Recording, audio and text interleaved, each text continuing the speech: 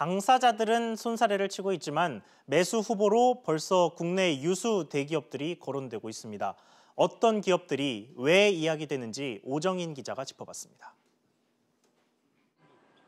시장에서 이름이 오르내리고 있는 곳은 이미 지난해 아시아나항공 인수를 검토했던 SK그룹과 하나그룹, 자금력과 대한통운을 갖고 있는 CJ, 그리고 LCC 1위 제주항공을 보유한 애경그룹 등입니다.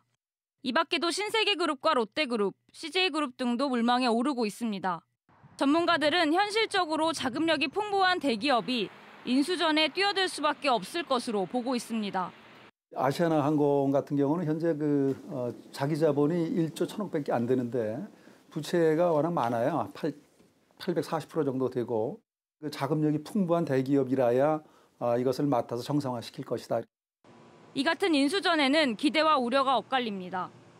재무구조 개선, 즉 그러니까 그 유상증자를 통해서 부채를 상환하고 자본 적정성을 올리게 되면 상당히 기업의 신인도가 올라가 올라가가지고 경영권 프리미엄까지 반영한다고 하면은 이게 이제 그 이상이 될 가능성이 있는 데다가 자금력이 있는 대기업이 아마 이걸 인수한다면 오히려 지금까지 그 구현하지 못했던 성장 잠재력을 또 구현할 수 있는 계기가 되지 않을까.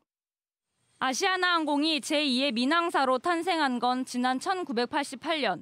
이제 30년 만에 국내 항공사가 재편 국면을 맞고 있습니다. SBS CNBC 오정인입니다.